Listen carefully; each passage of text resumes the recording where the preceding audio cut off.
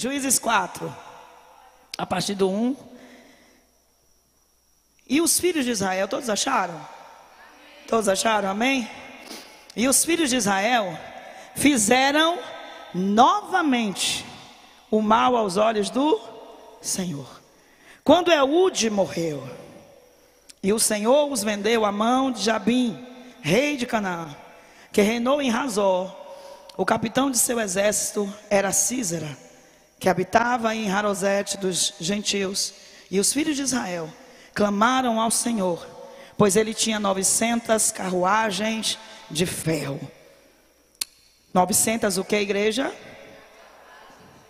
E por 20 anos, quantos anos? Ele oprimiu poderosamente os filhos de Israel. E Débora, uma profetisa, esposa de Lapidote, você vai repetir comigo assim: Débora, profetiza, mulher de Lapidote.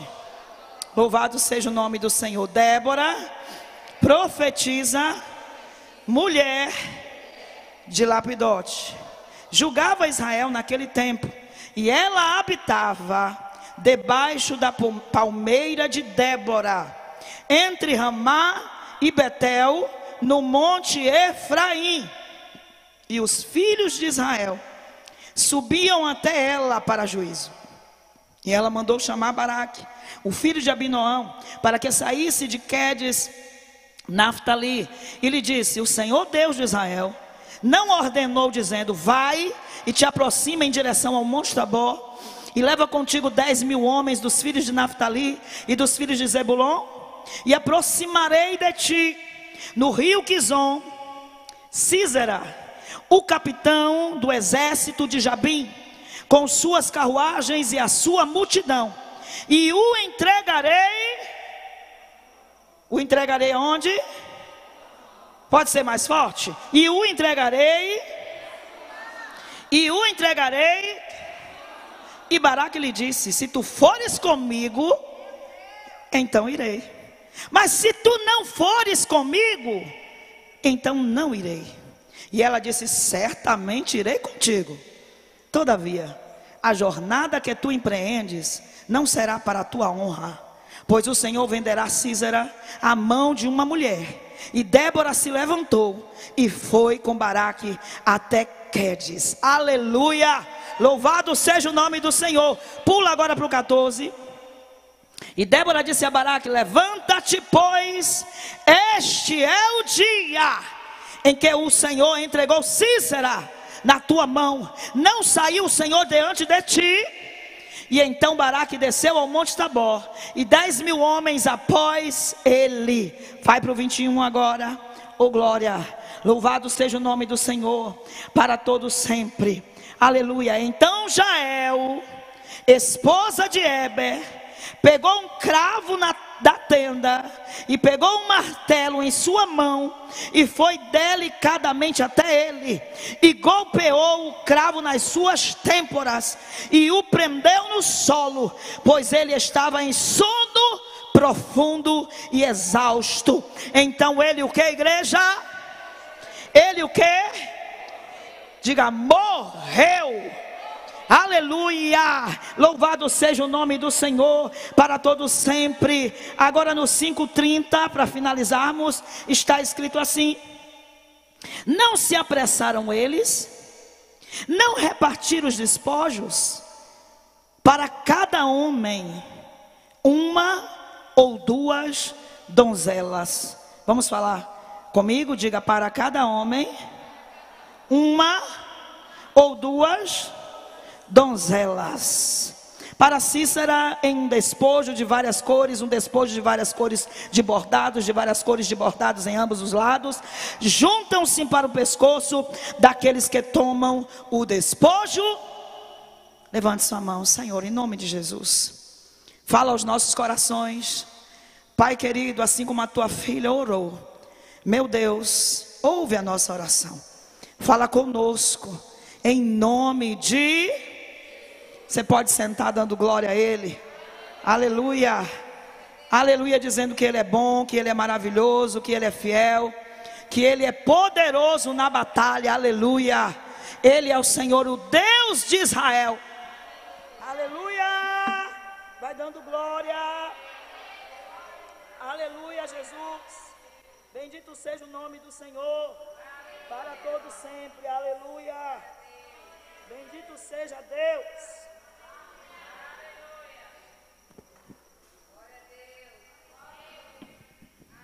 Louvado seja o nome do Senhor para sempre. Aleluia. Débora, profetiza, mulher de Lapidote. É uma honra para mim estar aqui pregando a palavra de Deus. Mas eu estou aqui tremendo, viu? Porque pregar a palavra de Deus aqui não é fácil, viu, irmãos? Amém? No local onde a palavra é pregada de forma sobrenatural. Amém? Louvado seja o nome do Senhor. Mas eu quero trazer aqui o que Deus trouxe ao meu coração nessa passagem. Débora, mulher de Lapidote, profetiza. Repete comigo, Débora. Profetiza, mulher de Lapidote. Oh glória! Louvado seja o nome do Senhor para todos sempre. O Senhor, Ele quer trazer nestes dias, Déboras, aleluia.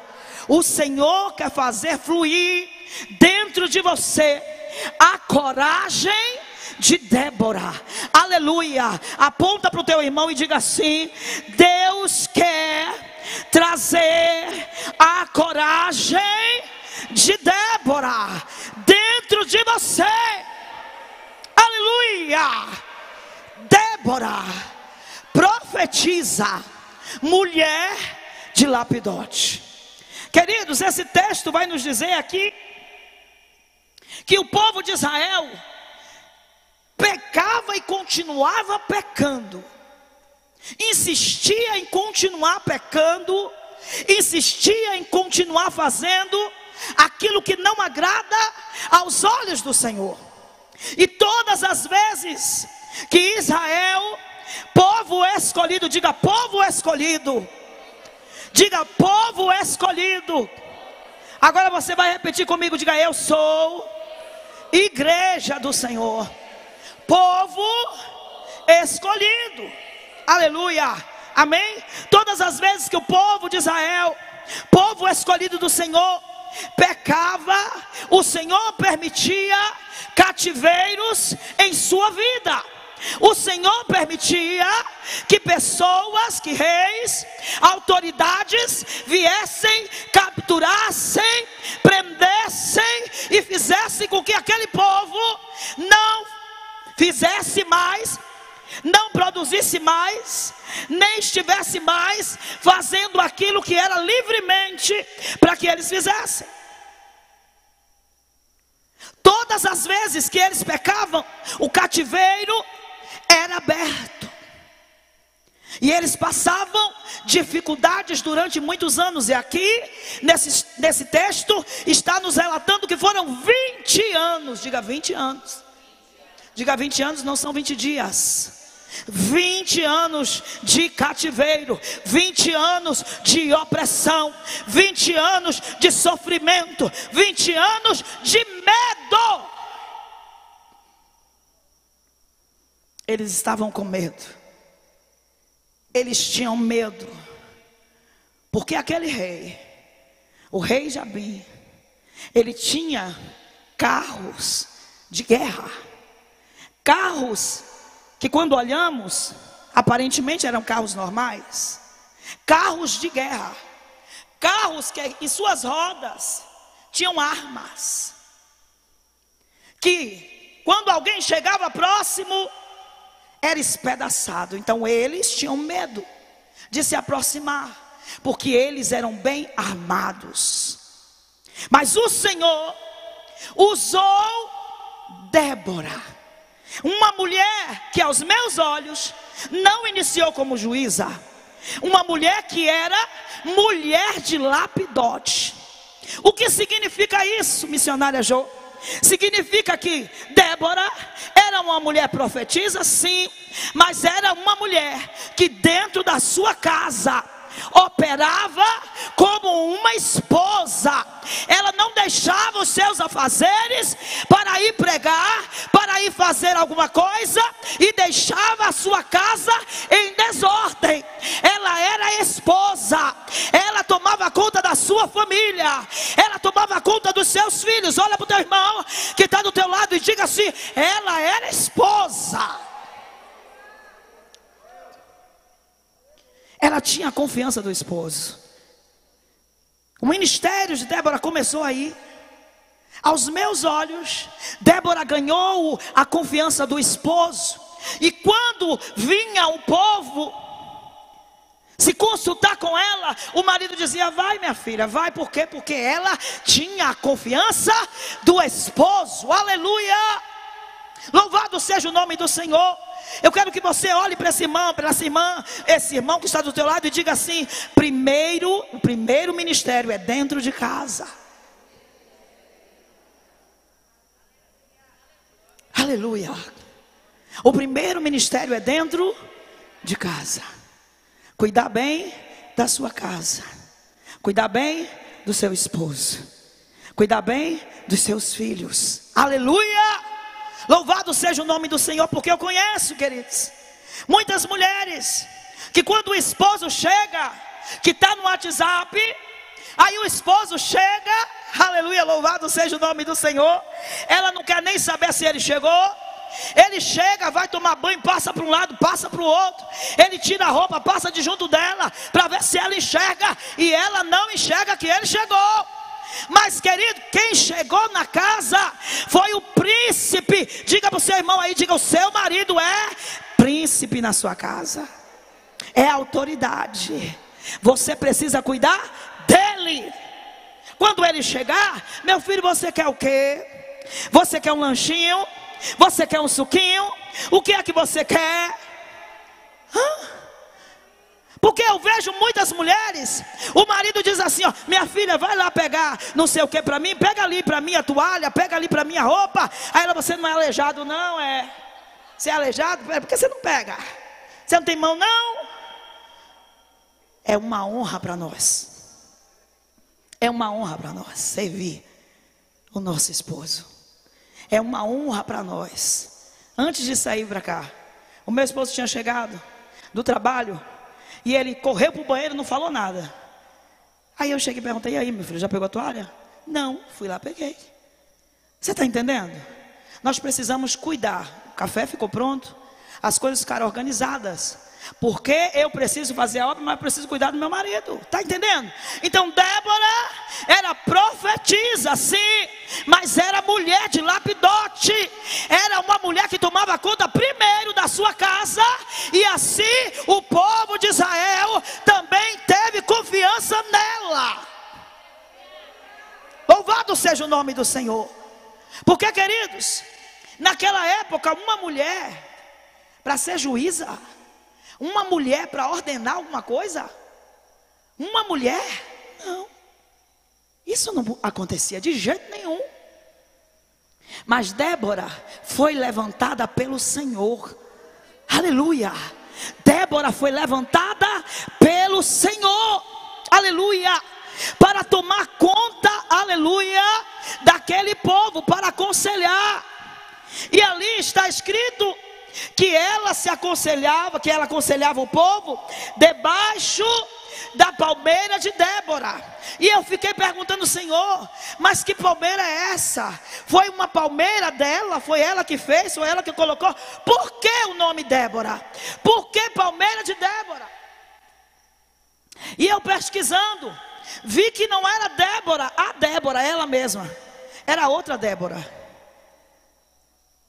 Era Débora Louvado seja o nome do Senhor. Que era a ama de Raquel, que morreu, tinha morrido em Gênesis, nós vamos encontrar isso.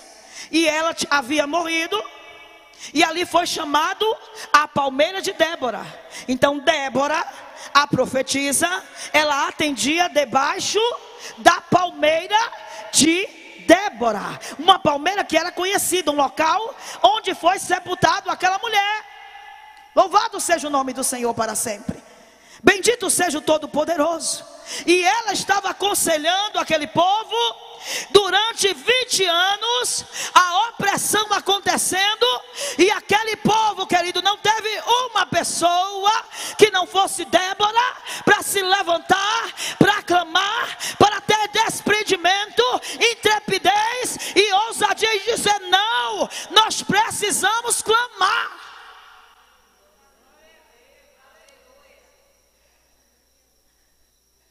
A pandemia chegou. Recebemos o relatório que era para fechar todas as igrejas. E as igrejas estavam com medo de clamar. E Deus está dizendo nessa noite que independente da circunstância, independente de quem está fazendo cara feia para você, independente de quem se levantar, a igreja ela tem poder. Ela precisa se levantar e clamar. Ela precisa se levantar e clamar ao Deus de Israel. Débora se levantou para clamar. Débora era uma mulher de oração. Débora clamou. Aleluia. Mas durante 20 anos a opressão estava acontecendo até que Deus falou com Débora. Débora, é hora de levantar. É hora de que eu dê vitória para o meu povo. Aleluia! E Débora, queridos, era uma pessoa tão conhecida naquela região que quando ela deu o recado, ela disse: Vá lá, vá chamar Baraque. Baraque correu e veio. Louvado seja Deus. Baraque, que também tomava conta do exército do povo de Israel. Baraque correu e veio e disse: Pois não, Débora. E Débora disse: Deus manda te dizer, te prepara para a batalha. Está na hora de Deus te dar vitória. Está na hora de você libertar o povo de Israel. Está na hora de você se colocar de pé. Eu quero que você olhe para esse irmão, essa irmã que está do teu lado e diga: chegou a hora. Diga: para de ficar calado.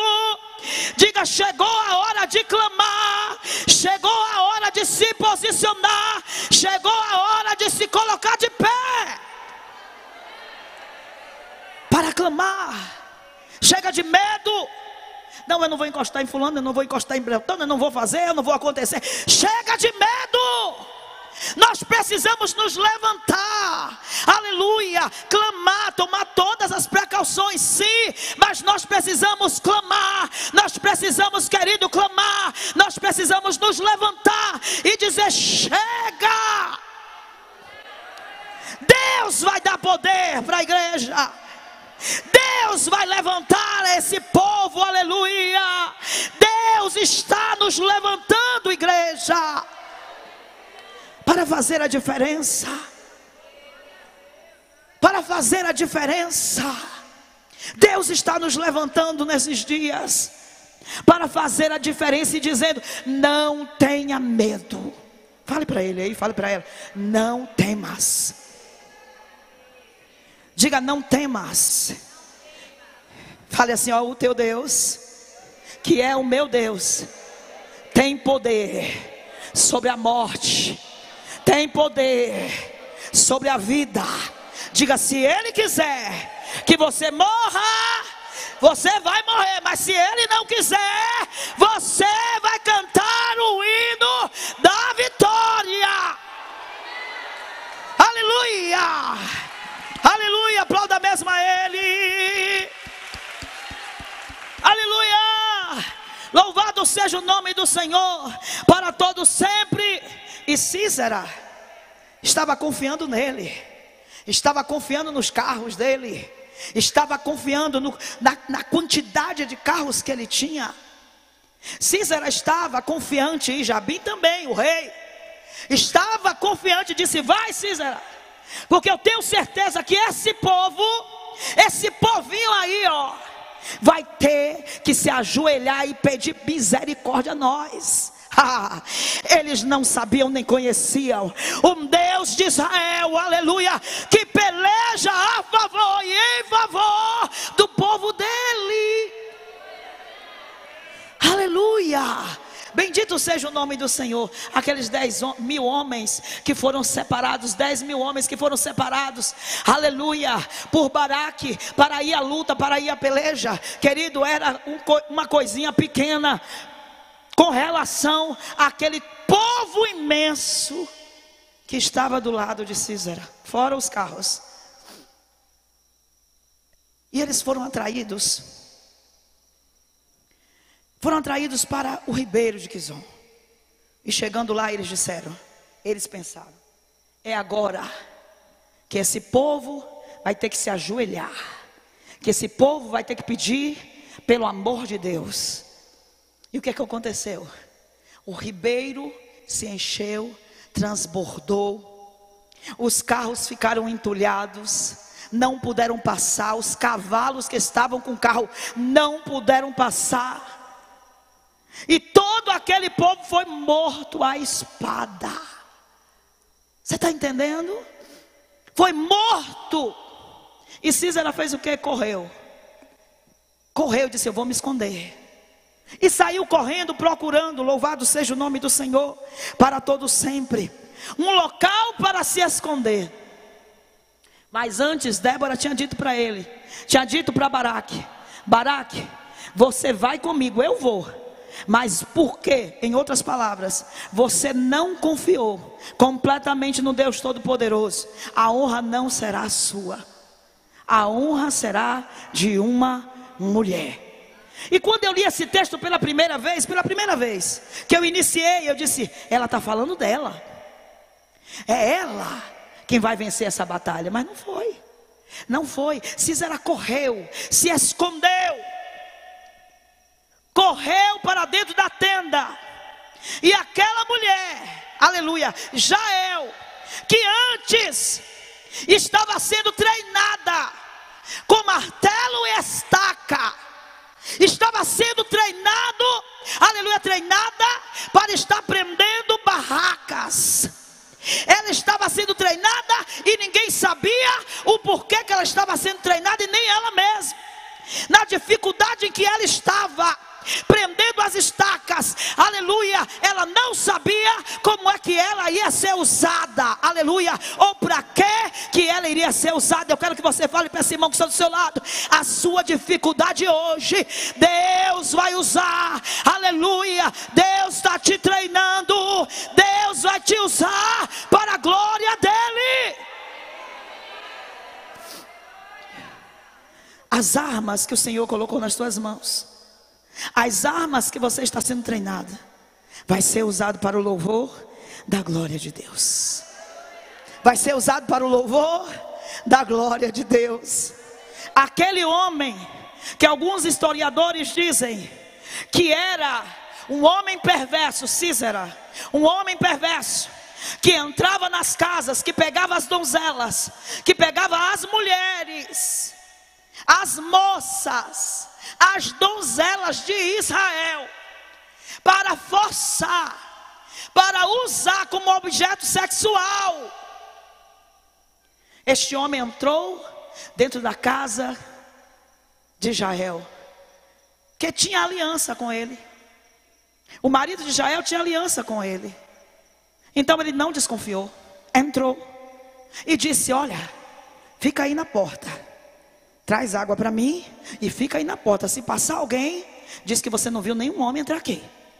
Ele confiou completamente. Ele pediu água e ela deu o quê? Leite. Deu o melhor que ela tinha para ele. Ele confiou. Foi lá e descansou. Deitou na cama, ela enrolou. Botou um cobertãozinho para ele e disse: Deite, fique à vontade. Ele dormiu o sono profundo. E ela foi lá, com aquilo que foi treinado durante a vida. Durante a vida toda, ela foi treinada com a estaca e com o martelo.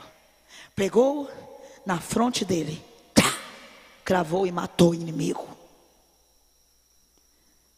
Fale para o seu irmão que está do seu lado. Diga para ele: Você está sendo treinado para uma grande batalha. Não tenha medo do teu inimigo. Creia que o teu Deus está contigo para te dar vitória. O teu Deus está contigo para te dar vitória. Cis era o homem que usava mulheres como objeto sexual. Foi morto por um objeto em que a mulher utilizava. Foi morto. Morto acabou a opressão da terra de Israel. Aleluia! Quando uma pessoa se bastou uma pessoa se levantar. Você está entendendo? Diga assim: na minha casa basta eu. Não fique olhando para o seu irmão, não fique olhando para, ah, não, porque é o meu irmão, meu irmão, ó, é canela de fogo, é ele que tem que se levantar. Não, é meu marido que tem que se levantar, é meu filho que tem que se levantar. Não, é você. Quem tem que se levantar é você. É você que tem que se levantar na sua casa. Não olhe para um lado e para o outro. Não olhe para fulano, beltrano, ciclano, não. É você que tem que se levantar, que tem que clamar, que tem que ir para cima. Ah, missionária, mas é porque você não está vivendo a situação que eu estou vivendo. É porque você não está você não sabe o que eu estou passando, missionária. Você não sabe a opressão que está acontecendo. Mas Deus está vendo. Deus sabe o que você está passando. E o Senhor está dizendo para você: se levante, porque eu vou te usar. Se levante, porque eu vou te usar. Se levante, porque eu vou te usar. Você não precisa, querido, de uma grande fé. Você não precisa de uma fé enorme. Olha o que a palavra do Senhor nos diz. Se tiverdes fé como um grão, grão de mostarda é grande? Hã? Mas ela é uma semente. Mas quando ela cresce, como é que fica? Hã? Enorme.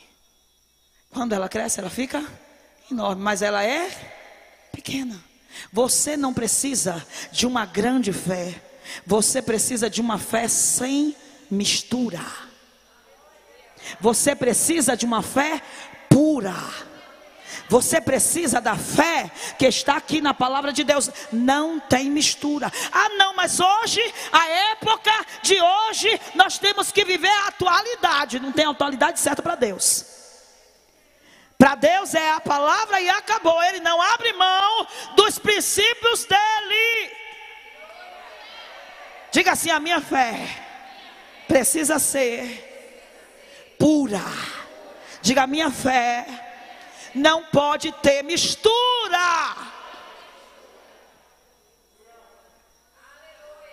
Você está entendendo? Você vai deixar a sua Bíblia dentro de casa? Aí vai ligar a televisão, ou ligar o rádio, ou ligar a internet. E vai dizer: Não, eu vou ouvir o que é que Deus tem para falar comigo, porque Deus vai usar Fulano de Tal na revelação para falar comigo. E a Bíblia está dentro de casa. Deus vai se agradar disso? Fala sério. Fala sério. Vai? Hã? Ele vai se ofender, igreja. Porque Ele está com você. Ele disse: Eu estou contigo. Eu tenho que dar prioridade a Ele. Aí eu não vou acreditar, fazer igual a, a Baraque. Se tu for comigo, eu vou. Porque ele sabia que Débora era usada por Deus. Se você for comigo, eu vou. Mas não foi Deus que mandou ele ir? Então Deus está dizendo para você: Não fui eu que te mandei ir, mulher. Não fui eu que te mandei ir, homem. Não fui eu que mandei você levantar. Porque está com medo de cara feia. Deus mandou, ele cumpre. Deus mandou, ele faz. Aleluia! Louvado seja Deus. Então a Bíblia está dentro da sua casa, ela é a boca de Deus. Ah, mas não tem frisson. Ah, mas não tem emoção. Eu quero emoção. Eu quero abrir lá, ó, a internet, alguém bater lá e dizer, ó, Deus está mandando te dizer. Eu não estou falando, igreja, presta atenção aqui. Eu acredito em revelação. Deus me usa por misericórdia em revelação. Deus me usa por misericórdia em profecia, mas eu vou ficar aqui no altar só profecia, revelação. Se Deus não mandar, Está entendendo? Se Deus não me direcionar aqui, eu vou fazer porque eu tenho que fazer com que você pense que eu sou usado por Deus assim?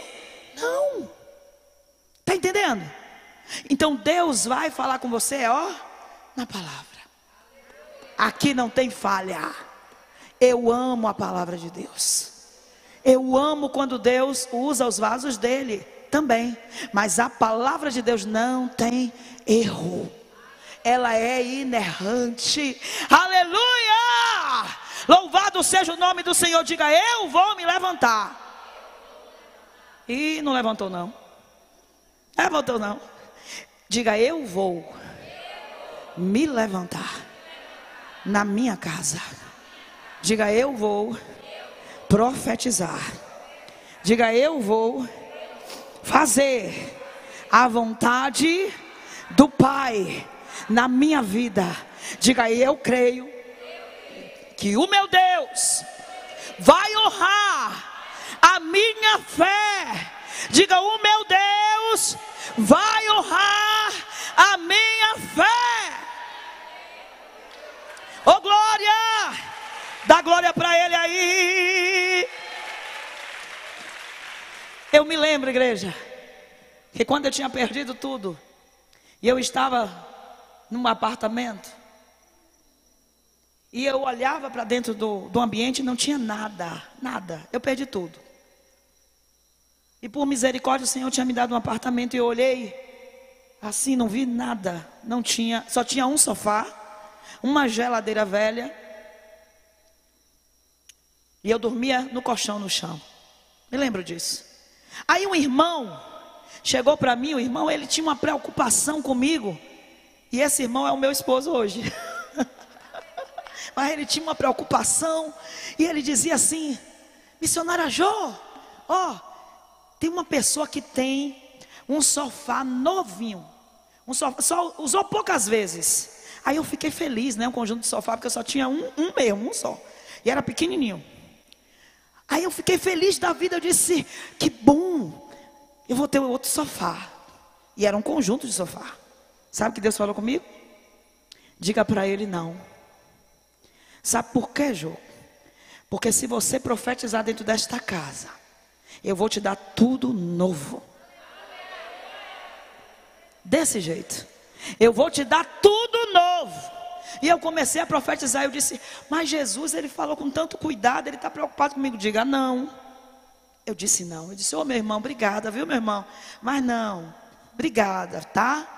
Aí fui profetizar, bati nas paredes, em tudo quanto era lugar que Deus mandou. Querido, não levou um mês. O Senhor me deu tudo novo. Tudo novo. Você está entendendo? Foi rack, foi TV, foi guarda-roupa, foi geladeira daquela grande. Menino, foi um, um mistério, ô oh, glória. Deus me deu tudo, porque Deus mandou, Ele não disse que ia fazer? Ele fez, está entendendo? Às vezes a gente fica assim, oh meu Deus, eu não vou ter condição. Se Deus mandou, querido, Ele garante. Fica de pé na presença do Senhor. Aleluia. Deus está levantando Déboras nesse tempo. Deus está levantando Déboros. Cadê os Déboros? Deus está levantando, isso mesmo, meu filho, oh glória. Deus está levantando homens e mulheres de coragem neste tempo, de intrepidez, de ousadia, que parte para cima sem medo. Aleluia! Que parte para cima assim do adversário sem medo. Aleluia! Não corre, não corre de uma macumba. Não, meu Deus, eu estou vendo a macumba aí, ó, deixa eu correr. Que nada, meu irmão. Repreende e passa. Porque ele não tem poder, você está entendendo? Ele não tem poder contra aquele que serve ao Senhor e que está debaixo da palavra dele. Que está debaixo da legalidade, da, debaixo da palavra, da autoridade da palavra, ele não tem poder. Aleluia! Levante a sua mão para o alto e comece a clamar ao teu Deus e dizer: Senhor, eu quero sair daqui com uma posição. Eu não quero mais ficar na minha casa desse jeito. Eu quero me levantar. Eu quero clamar. Eu quero jejuar. Eu quero orar, profetizar. Eu quero o novo de Deus na minha vida. Fale para o teu Deus aí. Fale para o teu Deus: Eu quero o novo, Senhor. É o novo, é o teu novo. É o teu novo. Aleluia. Aleluia. Pode cantar. Pode cantar. Tem alguém que canta? Oh glória! É o novo de Deus, querido. Aleluia, é o novo de Deus para a sua vida. O Senhor está liberando nessa noite. Aleluia, Deus, Ele faz sozinho, mas Ele preferiu fazer através de você. Aleluia! Quando Lázaro estava dentro daquela sepultura, os discípulos se aproximaram. Aí ele disse: Tirai a pedra. Um sopro dele podia fazer a pedra sair. Mas ele disse: Tirai a pedra. Aquilo que você precisa fazer, não é Deus que vai fazer. E aquilo que é para Deus fazer não é você que tem que passar na frente. Porque tem gente que quer ser Deus. Tem gente que quer fazer só o que Deus pode fazer. E tem gente que não quer fazer o que é para ele fazer. Deus está dizendo para você: Aleluia, faz a tua parte. Faz a tua parte, faz a tua parte, e tu verás o que eu farei na tua casa. Faz a tua parte, e tu verás o que eu vou fazer na tua casa. Eu quero te levantar, eu quero te levantar, eu quero salvar a tua família, e é através de você. Eu quero trazer prosperidade para o teu lar, e é através de você. É você que tem que atrair o novo de Deus para a sua vida. Clama ao Senhor nessa noite. Clama ao Senhor. Diz para Ele, Pai, eu quero estratégia tua. Senhor, além daquilo que o Senhor já fala para mim, para me fazer quer orar, quer ler a palavra, quer jejuar, me dê estratégias. Eu preciso das tuas estratégias, porque eu preciso avançar. Eu quero sair dessa situação de prostração, de medo. Eu quero avançar. Eu quero novo. Rabaias, ela Eu quero novo. Eu quero. Eu quero. Eu quero novo, Senhor. Aleluia. Abre a tua boca, querida, e começa a clamar. Abre a tua boca e começa a clamar. Abre a tua boca e começa a clamar. Abre a tua boca e começa a clamar. Fala para o teu Deus aí. Deus, eu preciso de ti. Eu preciso, Senhor, que tu me dê estratégia. Eu quero sair deste lugar de mordidão. Eu quero sair deste lugar de prostração. Me ajuda, me ajuda, me ajuda. Ele é Deus, se a porta abrir. Me ajuda. Ele é Deus. Me ajuda. Me ajuda.